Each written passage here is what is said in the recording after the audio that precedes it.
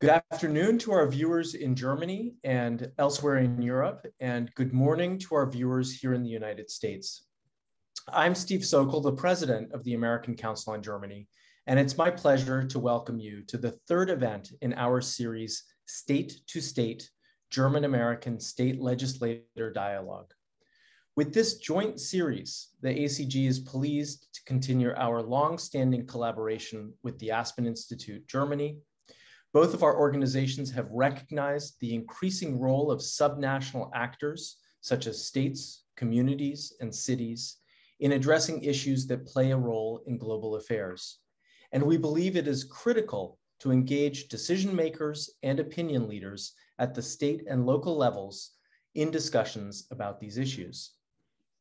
The State to State series builds on initiatives that both organizations have undertaken in recent years it provides a platform for the open exchange of ideas between German and American state legislators and a broad audience regarding the common challenges facing communities in both countries, including things like climate change, energy policy, migration, digitalization, and of course, the future of work.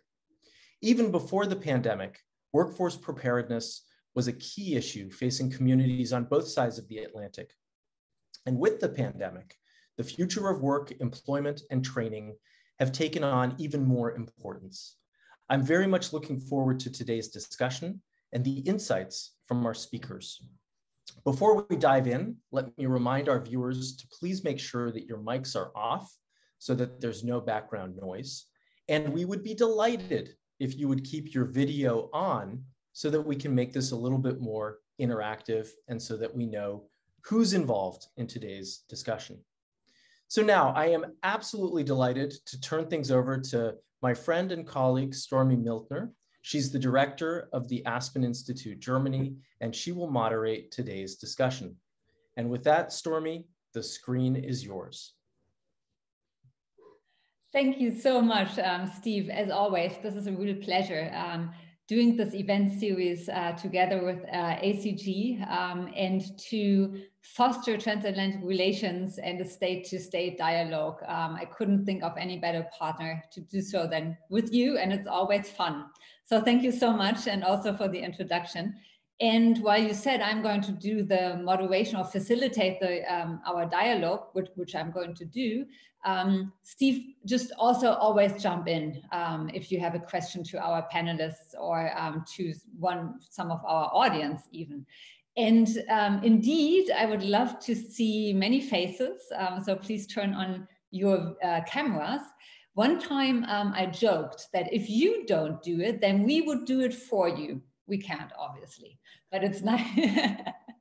but it's so much nicer to have a discussion with everybody on. We also want to do this as interactively as possible, meaning that we want to have a not just a Q&A, but we also want to learn from your experiences. So um, just let us know if you want to contribute um, via the chat function or raising your electronic hand. And we would call on, or I would call on you um, to really have a discussion, not just writing something in the, in, into the chat function. So what we want to look at today is the state and the health of our economies um, and take a look at how our economies are changing. Um, our, on both sides of the Atlantic, our economies have been hit by two really big crises, shocks in a very short time. Um, many of you still, I'm sure, still remember the last economic and financial crisis of 2007 until 2011, um, with big, big, I mean, it took us a long time to get out of, out of the recessions um, and to build back forward or build back better at that time.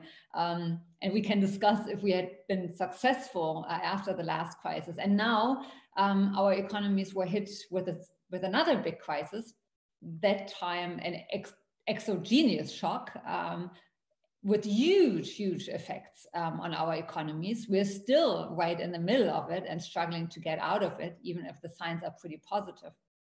And at the same time, our economies are undergoing a huge and deep structural change caused um, by digitalization, but not just by digitalization, but also by a, by a growing importance of the service sector in comparison to the manufacturing sector. So this is the situation we are facing.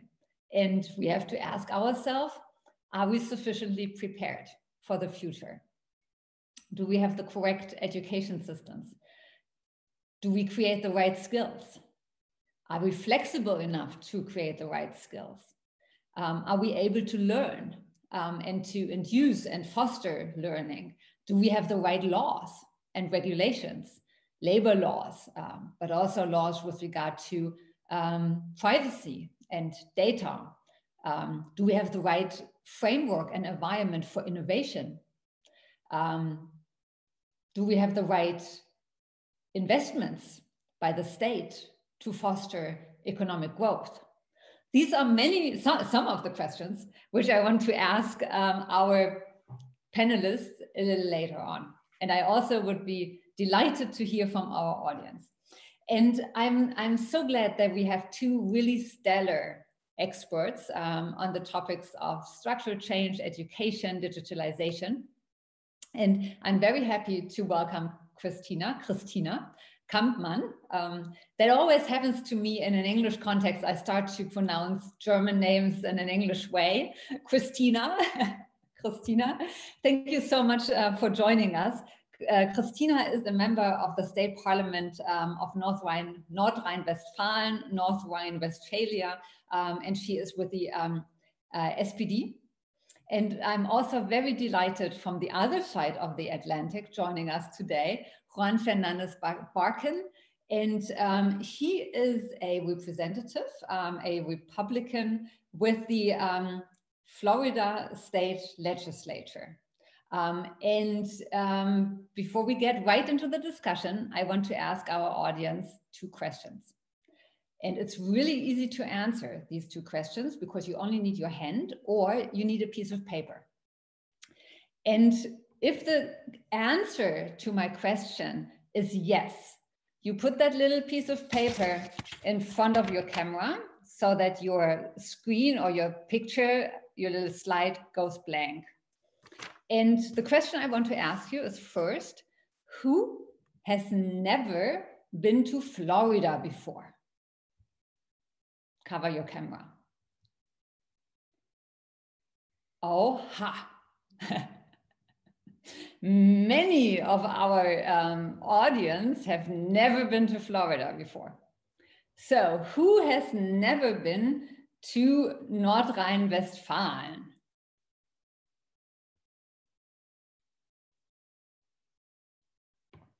Again, quite a few, not quite as many. And this is, this is my first question to Christina. What makes your state special? And why should everybody visit your state? Okay, um, first, that's not such an easy question, but I hope I can invite a lot of you to North Rhine-Westphalia. What makes us special? I think um, we are the state with the biggest population in Germany. I think we have about 18 million inhabitants in North Rhine-Westphalia. Um, we have great cities like Cologne. I'm sure that um, a lot of people um, know that. And um, I think if we talk about digitalization and um, the structural change, um, we have a lot of very progressive legislation that I hope a lot of you can learn something from North Rhine-Westphalia. Um, and we are a very beautiful state. So you have to come to visit us and maybe I will have the chance to visit Florida one time because I've never been there and I heard a lot of very, very um, great things about you. Um, so um, I, I want also to say thank you for the invitation and I'm really looking forward to our discussion about North Rhine-Westphalia, Florida and um, all these issues about digitalization and the future of work. Thank you so much. So what's special about Florida? Um, I, there is so many things in Florida uh, that that I would encourage. I encourage all of you to to visit, and if you've been, please visit again. We have uh, Disney World, we have South Beach, uh, we have beautiful beaches, uh, and and just overall great entertainment, great nightlife. Uh, uh, it's a mix of cultures. We have a lot of a, a, lot of people from all over the world. Um, everyone is welcome here. Uh, we have we have a fair amount of Canadians who come down and vacation here. We have a my family is Cuban. We have a lot of Cuban Americans here. I have also family that's Venezuelan. There's there's there's a just it's a melting pot basically, and just a fantastic mix of cultures. And I think you can find just about any food that you want here. Um, and uh, and it's a great place to do business. Also, we are the gateway to the Americas when it comes uh, to the United States, uh, and and we would actually and absolutely love uh, for all of you to visit. Thank you so much. Um, I think we will take you up, both of you up on your vacation, uh, on your invitation, um, on the next vacation, on the next business trip, which we are allowed to take um, eventually. Um, right now, travel restrictions are pretty much still in place um, for a lot of places, but eventually I think we will be able to travel again. Um, let me let, let me start by asking you about structural change. Um, and what I first would like to learn is how structural change in your in, in our both of our economies is manifesting itself so that we get a little bit of a better understanding what is really happening on the ground to see commonalities but also differences um, and again christina would you like to start um, yes, of course. So we have no beach in North Rhine-Westphalia, but we have a lot of industry. And if you ask for structural change, I think we can see um, that the structural change in the industry is just taking place since since a lot of years. And when I visit, I, I just make a tour through North Rhine-Westphalia and talk to many workers. Um, what is with your working place, what is changing um, in your everyday's work. Um, a lot of them say that they fear this change, that they are a bit frightened um, if they look in the future and um, see the change concerning digitalization, concerning climate change, um, and also concerning globalization. And um, I have the feeling that some that this is for some of them the reason also to vote populist parties. Um, that is just a very um, big problem in Germany. And I think that could be a result of this change. And so I think we are now in the responsibility to give them more solutions that we can that we can um, have a solution for this change for all workers in North Rhine-Westphalia, because I don't want that anyone is frightened. I want that they know that politics um, try to find solutions for them and to help them um, that we make this change um, to a success and that we have social progress in the end, social sustainable progress. That's our aim and we try to work on that.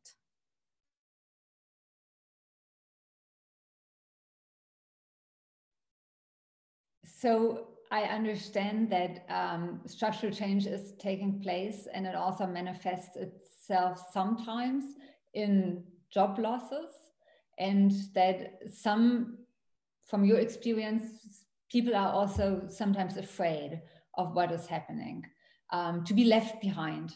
And that can result in um, not just fear, but also populism.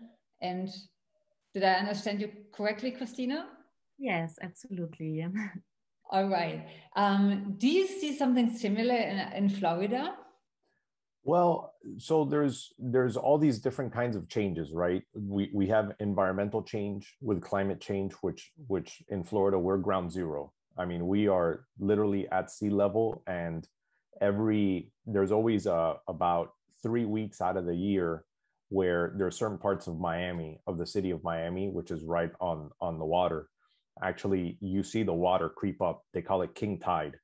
And you see about two, three feet of, of water uh, coming onto the street and it'll stay there for two or three weeks. So there's you know we're we're dealing with climate change, so that's one kind of change, and that's something that that and I've told people in my own party it doesn't matter who created this, but it's something that we have to deal with, and it's here now, and one way or the other we have to deal with this now. Um, we have technological change, which is putting people out of work. You have older segments of society who were used to, for instance, manufacturing jobs that now are becoming uh, that machines can now do. You have also service industry that is now also getting digitized. And I understand what Christina is saying is that when individuals are in a vulnerable mental state and when they have lost their jobs and when they're depressed, their their scapegoat is to is to join an easy scapegoat is to join a populist movement where they can blame other segments of society but in reality they don't confront the reality which is the digitization and the technological change that is undergoing in society. And they it's easier to blame people than it is to actually um, make yourself vulnerable and improve upon yourself and whether it is going back and educating yourself to learn new skills in order to rejoin the workforce. Um, i mean but but i would say that yes uh, i i haven't seen it because luckily the last six months state of florida has done economically very well compared to many of the other states in the united states. Um, florida and texas we've we were able to open up much faster than all the other states by pushing the vaccine by pushing safety standards so we were able to we still have a high unemployment, but relative to other states, it's not. So I would say in general that you yeah you can find a populist movement, but it's not it's not very popular. Um, it's not it's not mainstream at all.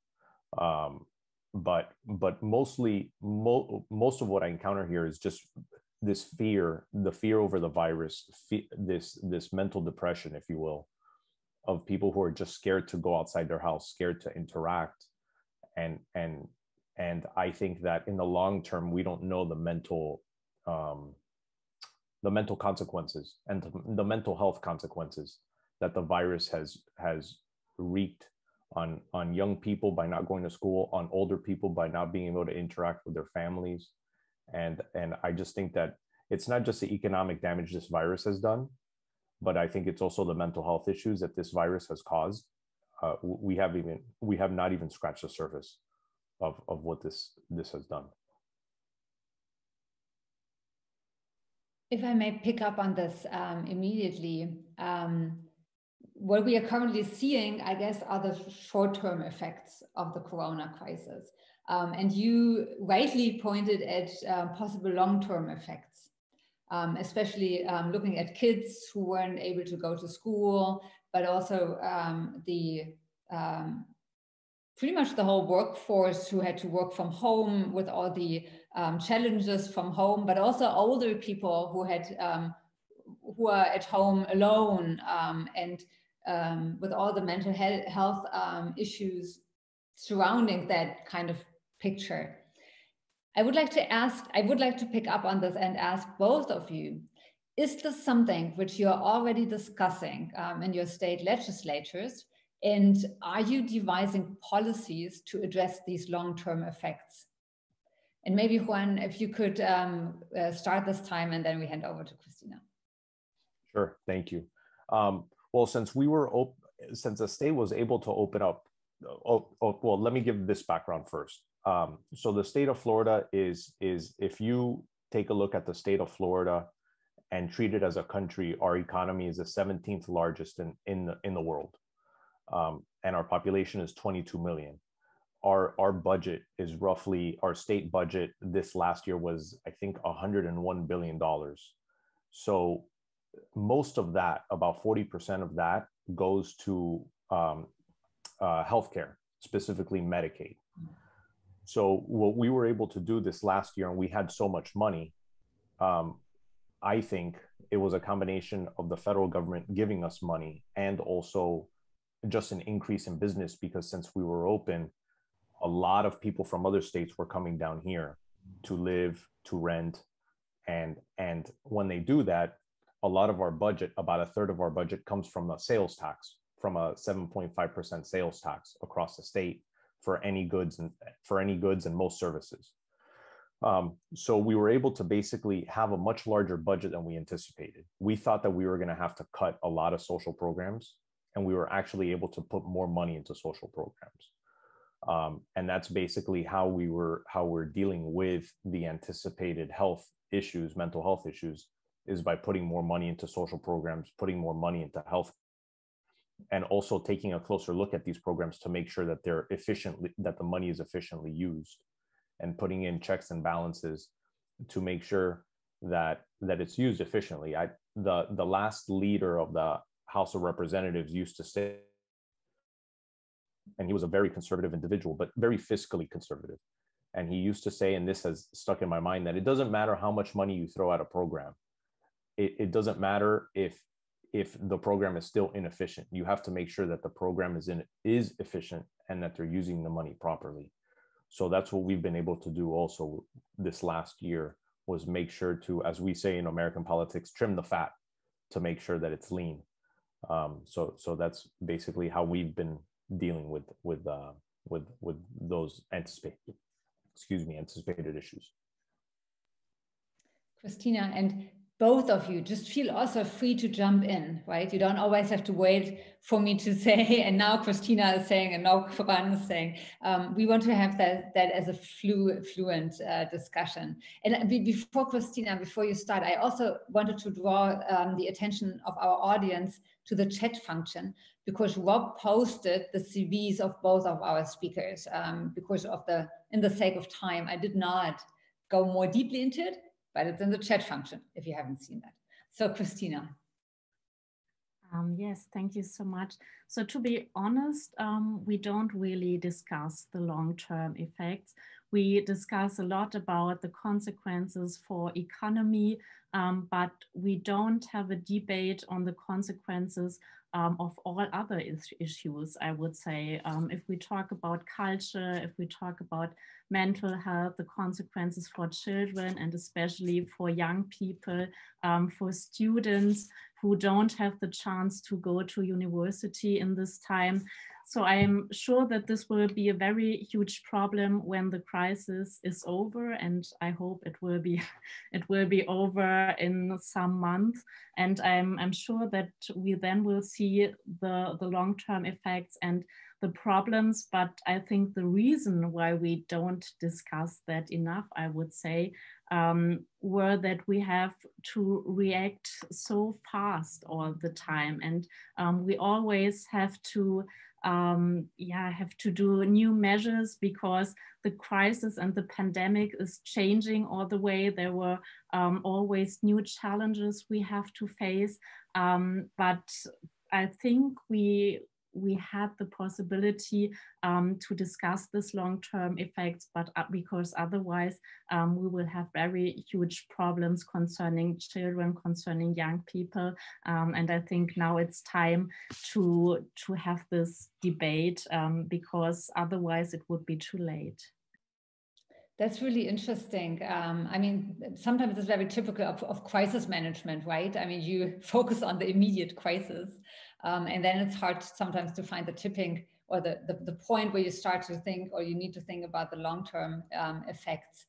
I would like to pick up on one of the um, issues both of you mentioned, um, and that is technological change and digitalization. And um, it is changing how we are working. I mean, how we are living practically, but also our um, how we are working, how we are producing. And I wanted to ask both of you because it requires new skill sets um, of our for, really for all of us, right? But especially also on production. Um, are we ready? Do our young young people do they have these skill sets? And if not, what do we need to do? to get the skill sets right? So I can try to to start. Um, that's that's not an easy question. I think in Germany and also in North Rhine-Westphalia, we are not ready because you are right. We have a growing demand for, for especially technical skills. Um, I think creativity and communication skills um, are becoming also more important in the future. And in order to be able to tackle these issues, we have to start at the beginning in our schools. In school, every child has to learn programming. That's um, my opinion and using new media responsibly. We need innovative learning concepts considering um, more the benefits of digitalization and that's that all things um, we have to do and we see during the pandemic that we were not ready um, for e-learning and um, for, for learning from home. And now we have to do um, all these measures because otherwise our children and our young people won't be ready and um, digitalization is not something that will happen in the future. It's just happening now. So we have to be faster concerning these issues. If I may ask a follow-up question, um, we we can be proud of our dual education system. Um, it's one of the where we would also say the export schlager, an export hit. and um, a lot of times uh, other countries are, are, looking towards us, um, looking for inspiration with regard to the dual education system. Nonetheless, over the last decade, more and more kids in Germany did not want to get a technical education but wanted to go to university and more and more kids are doing so. Is this is is this the right way christina? Um, no i think it's not the right way. My party um, always says everyone um, has to have the chance to study. Um, but now i think um, it's changing and we say it's also great um, to take part in our gradual system because we see that we have um, so many students and nowadays everyone has the chance um, to study, but we need more people um, with more technical skills, more people who take part in this system. And um, so I think um, the meaning of politics um, or or the, the debate in politics is changing and we try to make this more attractive for young people. So Juan, how is it in Florida? Well, we've been so we've we've been changing and offering more opportunities and increasing scholarship opportunities for children from low income families. Um, we have several programs for it, but they also have access if they want. And any student has access to specific special programs, to what's called magnet schools that concentrate on science, technology, engineering, and mathematics. And this is something that every year we we we expand the program, and we've been expanding it slowly. But it's something that um, I, I would say that we we drastically need to keep increasing and putting more and more and more uh, investment into it and offering opportunities for young people in these fields because I think it's not just the state of Florida, but I think the United States in general has this very serious issue that we import the a lot of individuals who who handle and who participate in the science, technology, engineering, and mathematics fields. And I think in general, the state of Florida and the United States needs to make a larger investment in that because we we cannot keep keep um, in um, importing that. And it's funny that that you mentioned you mentioned the exporting, but but this is the other side of it is is it, it puts us in a very vulnerable position. Um, so so what we've been doing in the state is just offering more and more programs to younger children um, to try and get them more interested in this. After school programs also there's a very there's a fantastic after school program um, at a at a junior high that i was able to get the funding for and it's not too far away from my house that allows children about three hours every day after school to play with robotics and how to and how to program robotics. And and they showed it to me. It's a it's fantastic. It's the most amazing thing ever. It's like these little machines and they teach the kids how to how to program the robots to walk you know, and to do certain things. But that's how you start is that you have to start at a very early age and also on the on the other end when they get to university you have to give them the an incentive um, I'm, I'm a very firm believer in very limited government but the but i do believe that the government needs to give incentives in the form of more scholarships to, for for young people to study these fields and that's a way to do it is to just offer more scholarships in these fields to incentivize um, students in the university to study this Thank you so much. Um, before I open it up um, for the discussion with our audience, I would like to jump back to the issue of structural change and how to manage, manage structural change. And I would like to um, both of you to have a look into the past. Um, but um, I know that that Steve, um, that you have already done so as well, and you are very interested in the topic. So I want to get you into the conversation as well now. Thank you, Stormy. Um, I I actually wanted to ask a question about about structural change, um, which obviously is an issue that both Florida and, and particularly North Rhine-Westphalia um, have been dealing with and are dealing with, and Christina, I, I, found your comments very interesting about um, the narrative uh, of North Rhine-Westphalia and wanted to know whether there are any lessons that have been learned in the state from the past periods of Strukturwandel that could be applicable today as we begin to emerge from the simultaneous public health, economic, and social justice crisis and think about the future. Um, you know are, are there lessons that you can draw upon from the state experience that might be applicable in the state but also more broadly? Yes, I think there are lessons, and I think the main lessons um, are education and lifelong learning, because both were in the past and I think also in the future um, issues for North Rhine-Westphalia and for Germany as a whole, because the way we work now is changing so radically, especially due to the digitalization we just mentioned um, a lot. And the challenge is to equip the workforce for the working world of the future and also for all new forms of work. We have to develop and we have to adapt workers' qualifications and skills today changing in a world of work and we have to make them able to upskill and to change their careers to be prepared for all forms of work we will have in the future.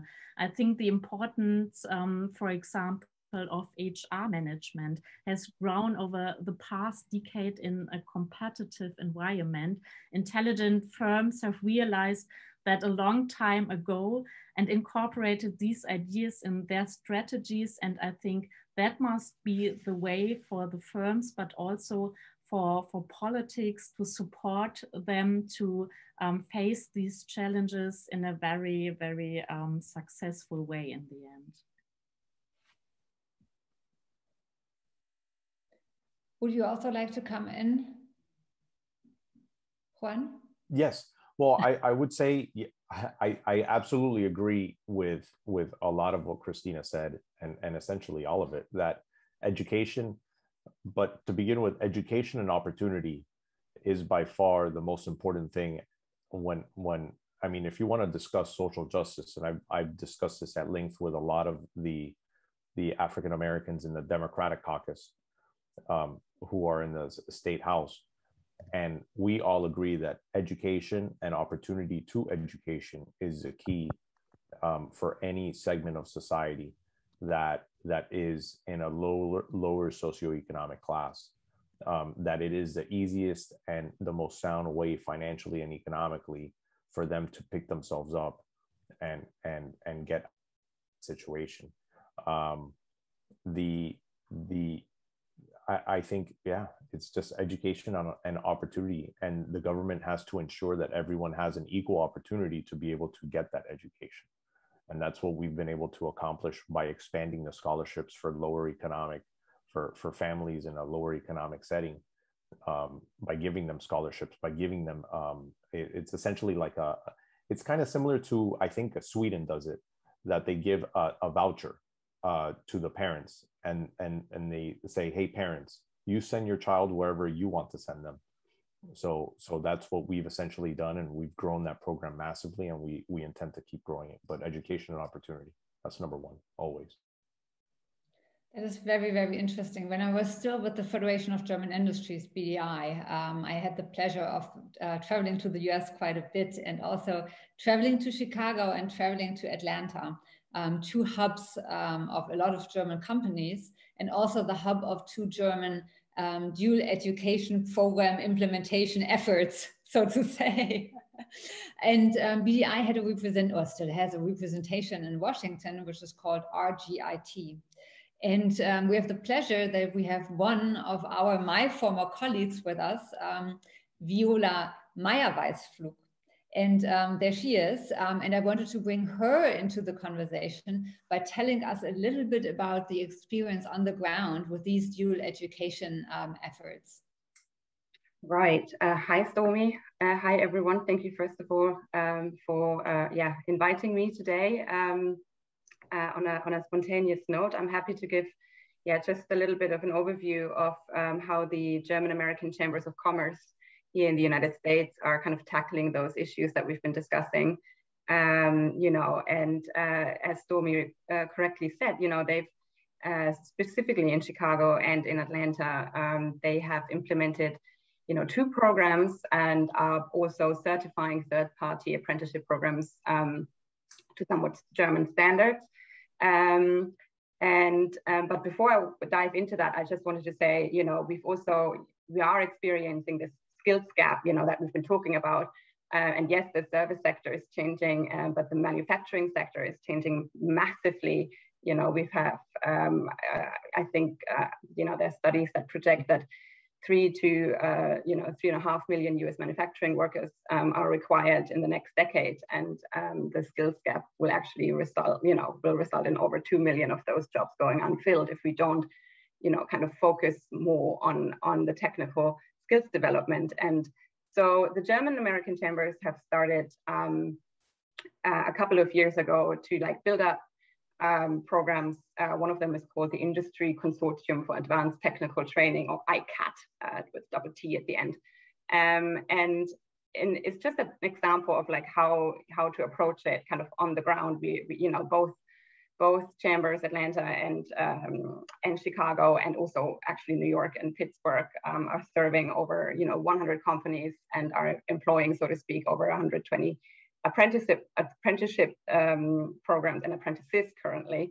Um, and it's just it's just important to you know to realize how um, how those apprentices are um, you know you know they're saving money um, by by by they're actually earning money. It's kind of this earn um, uh, you know earn as you you uh, learn approach that they're uh, going after, um, and it's it's jobs that um, are you know very valuable for the future. Um, you know, they're jobs reaching from advanced manufacturing technician to computer controlled machining um, to pharmaceutical manufacturing technician. So these are very specific um, industries um, that that are being served by these programs. Um, and and I think you know we've talked a lot about how you know politics or, or states can kind of further this and you know we talked about scholarships and and handing out um, incentives so to speak and i think one of the biggest incentives i guess for students over here in america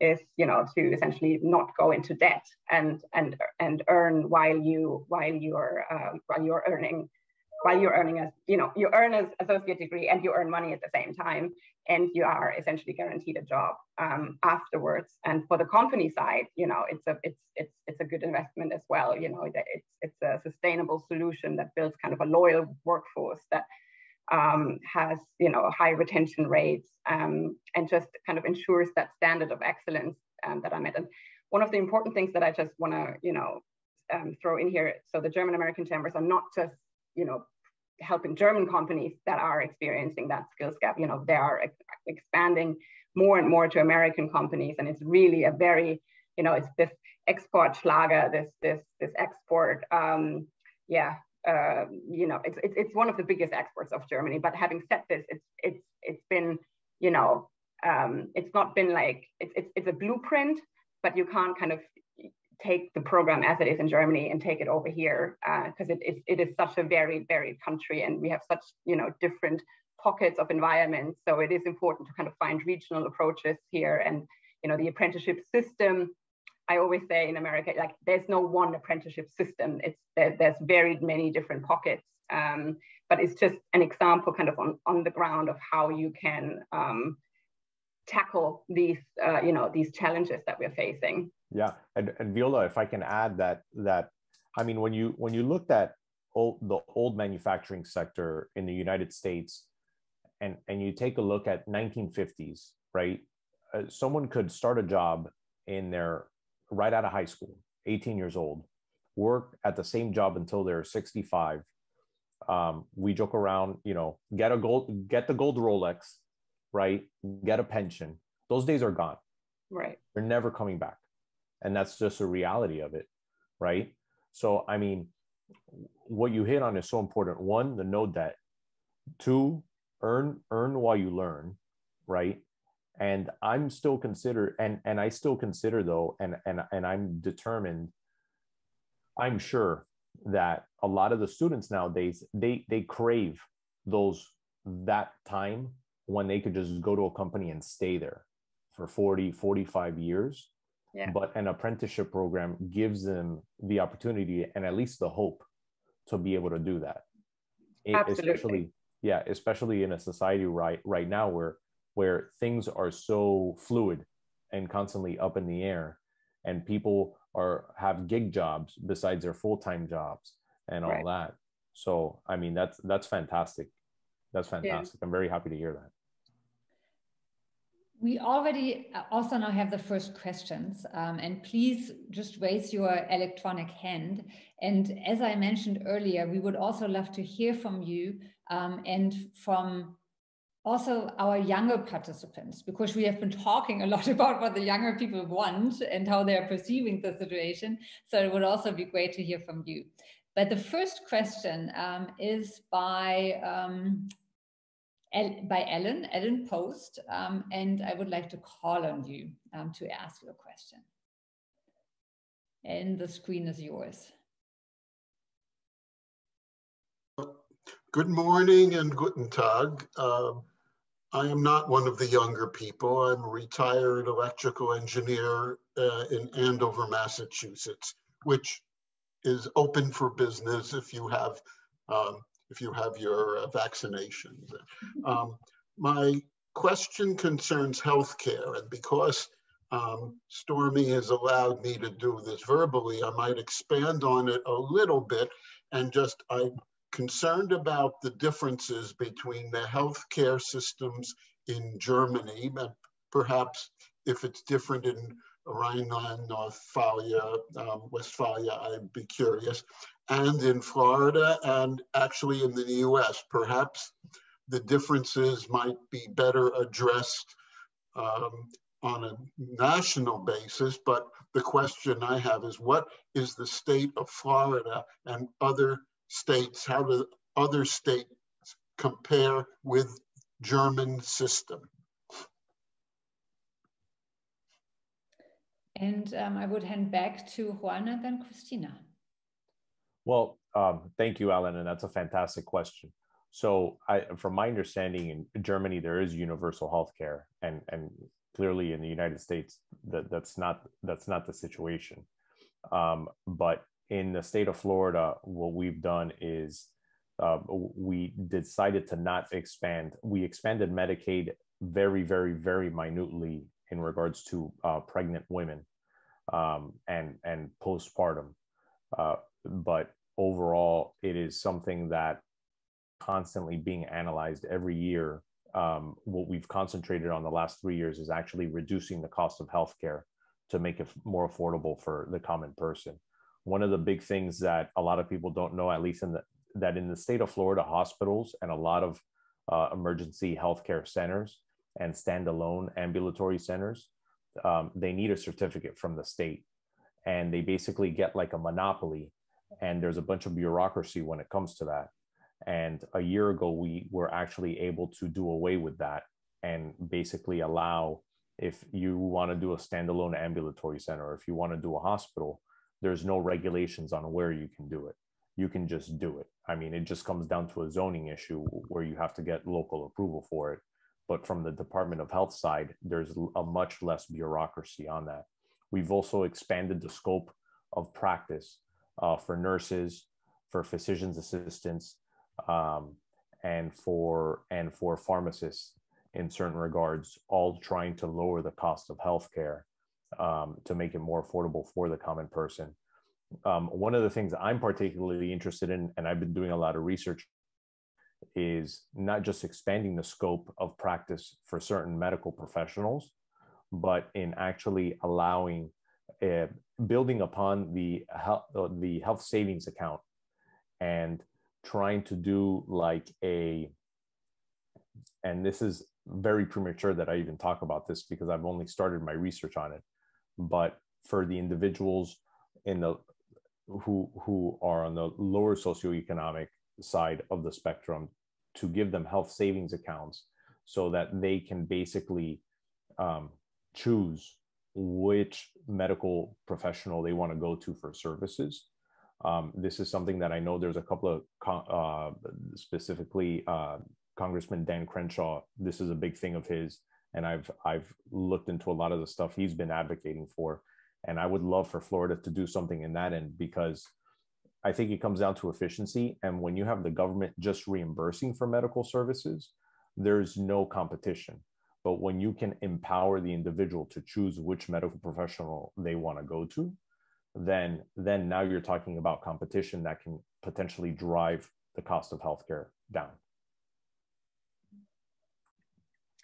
So thank you. And also from me, I want to give you a very short answer because I think there's not so much time left. But in Germany, um, you mentioned that everyone has access to health to the healthcare system, and I think what that was um, really an advantage during the pandemic, um, especially in the pandemic, but um, also if you think of all other situations because everyone has to go to a doctor and um, to a hospital very early and no one has to pay. And for me that's absolutely the best system because i think health is so important for every human being and it can't be the way that it depends if you have more money or less money if you are rich or not if you are a migrant um, or everyone else so i think um, that's the best healthcare system we can have we have to improve um, also some issues in germany um, but I think it has to be free for everyone um, and that is the best solution I can think about. Thanks for this very strong call for universal health coverage. um, now I hand over to Rob, um, who has also a question to both of our speakers. Hi, everybody. Um, so over the last year and a half, I've been involved in a project with the American Council on Germany that is focused on, we've called it the Transatlantic Cities of Tomorrow, um, digitalization and the future of work, where we've been bringing together local practitioners um, to sort of compare the issues around digitalization and how it's affecting their communities, both at the local level and also at, at the state levels. And one of the things that we observed both in the United States and, and, and in Germany were communities and also states trying to create more sort of agencies, if you will, that are focused specifically on digitalization and how to incorporate that into structural change issues, workforce preparedness issues, et cetera. And I, I, guess I'm curious if, if Christine and Juan, you could say a little bit about what your states may or may not be doing in that regard in terms of really putting a focus on this at the political level, at the state level, so that the priority is really given to addressing these issues, um, both from a policy standpoint, but also from, from a, a, funding standpoint. Thank you so much. I would like to add two more questions um, for then a last round um, because time is running short already.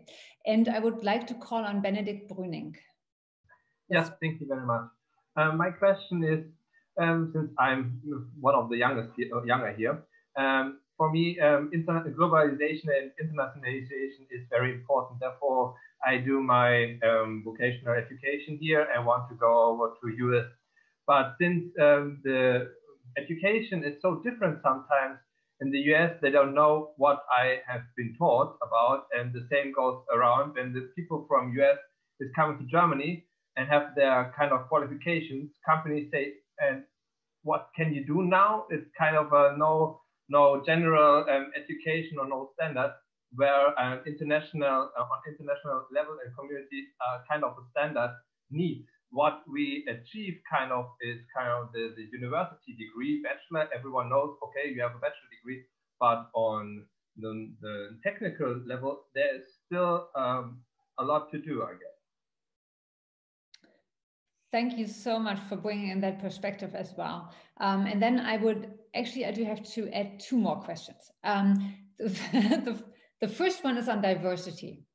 Our economies um, and also our companies are more resilient and future oriented if there's diversity. Um, are we doing what, what, what, what, what can the state, the government do to foster um, diversity? Uh, and what could we learn from each other? And another question, and um, I love that question, and it's a great um, question also to then end our discussion with is, so where do we take this whole the whole discussion from here. Um, can we turn this into a transatlantic agenda um, on the future of work, on the future of economy? So these are a lot of questions for the last round. Um, Christina, would you like to start? And then Juan.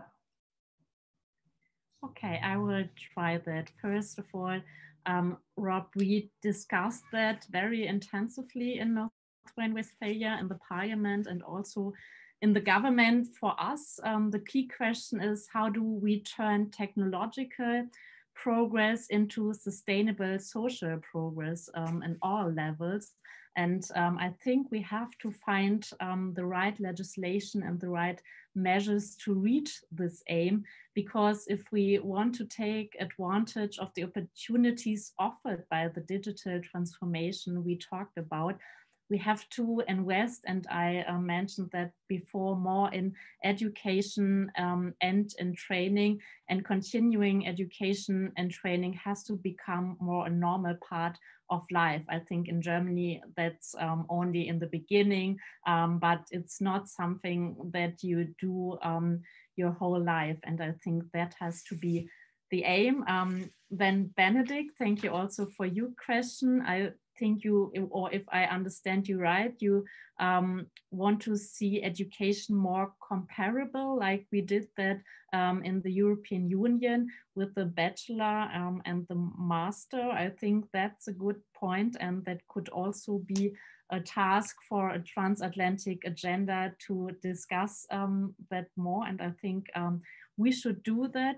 Then we have the question concerning diversity, what can governments, what can parliaments do?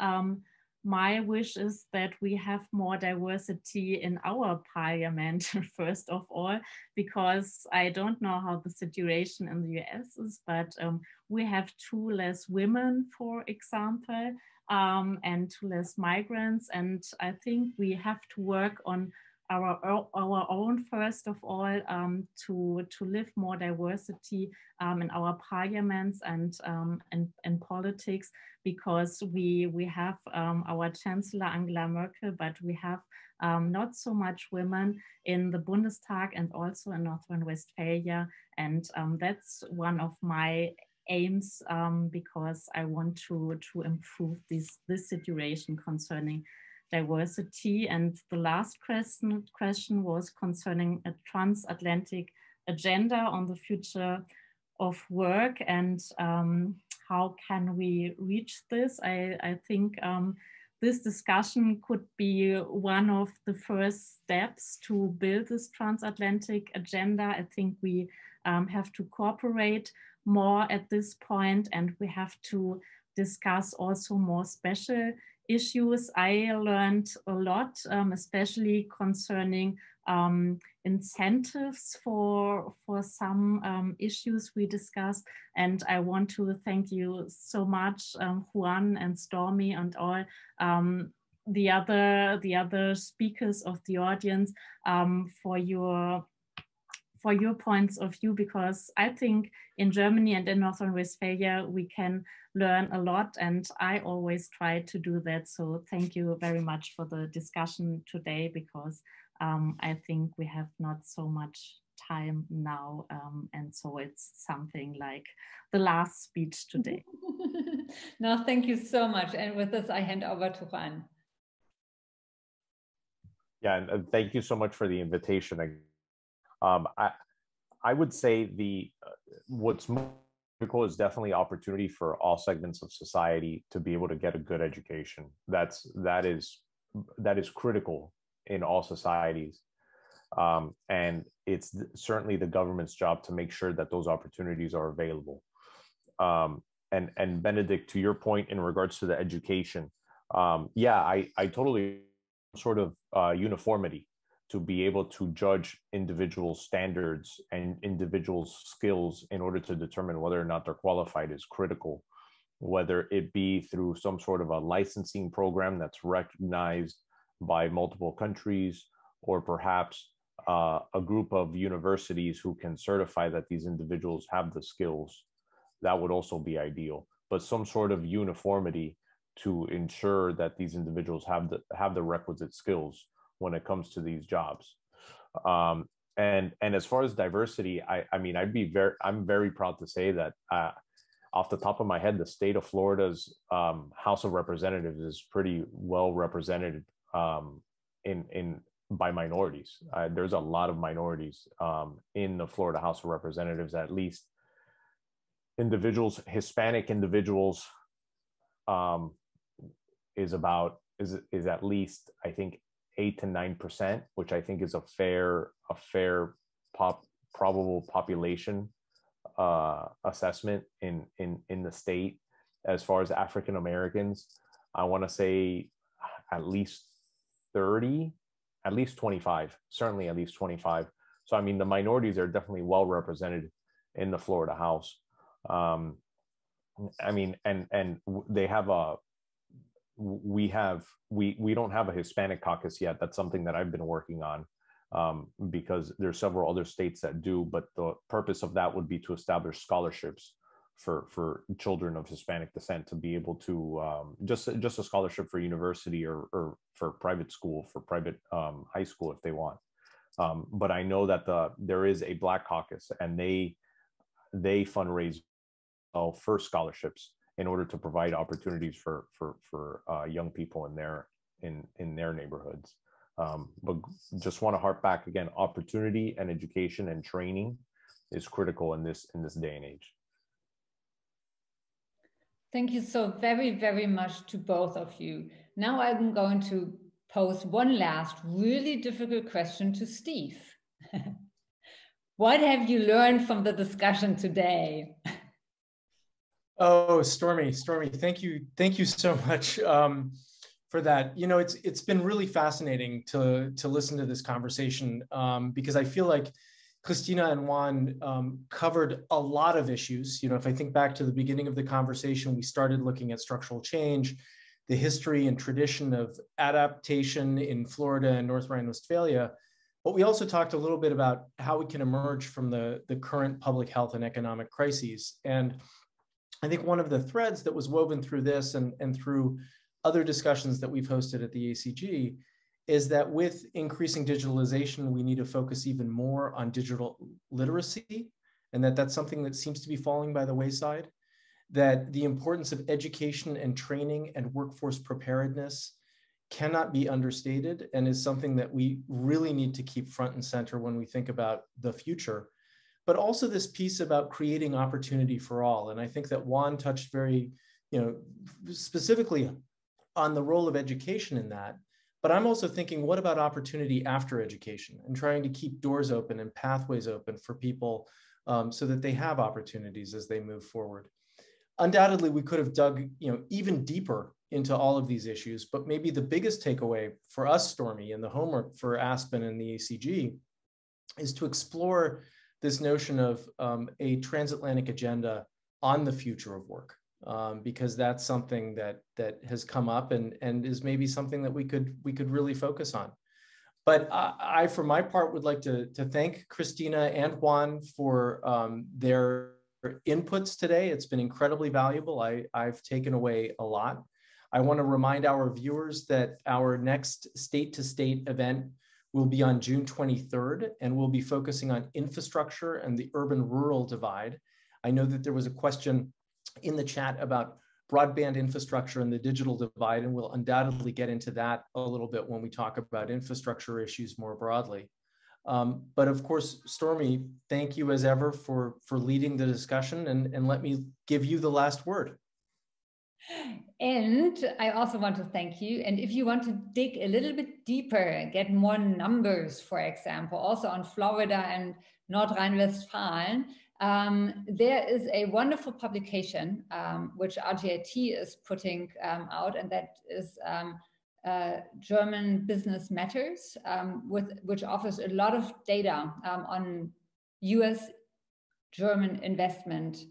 And that is something which we took a look at when we prepared for this event.